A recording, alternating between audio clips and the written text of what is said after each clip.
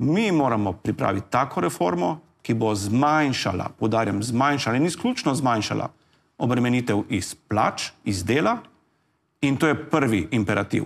In ta mora biti taka, da bo stimulativna za mlade, ta mora biti taka, da, bo, da je stimulativna za visoko izobražen, da bojo ostajali doma in ta mora biti taka, da bo spodbujala tudi gospodarski razvoj. To je prvi del. Ko bomo to uredili, potem se lahko posvetimo premoženju. Ne govorimo o nepremičninah, govorimo o premoženju. Nepremičnine so danes v redu urejene, urejajo jih mimo grede občine skozi nadomestilo, v ta del se ne bomo spuščali. Ta del ostane, nobenemu ne bomo jemali na nepremičninah kar tako.